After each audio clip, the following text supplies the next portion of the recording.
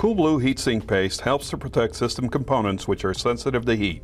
Cool Blue's unique heat transfer indicator changes color to signal overheating when brazing. Cool Blue is non-toxic and easy to clean. In this demonstration, we will show how Cool Blue protects a metal wire with a melting temperature of 430 degrees Fahrenheit. The copper tube on the left is unprotected and the copper tube on the right uses Cool Blue placed between the wire and the flame. Note that the wire on the unprotected tube reaches the melting point of 430 degrees Fahrenheit, thus melting the wire, whereas the copper tube with Cool Blue keeps the wire protected. Be sure to use Cool Blue to protect your system components when brazing. Uniweld, quality tools that go to work with you.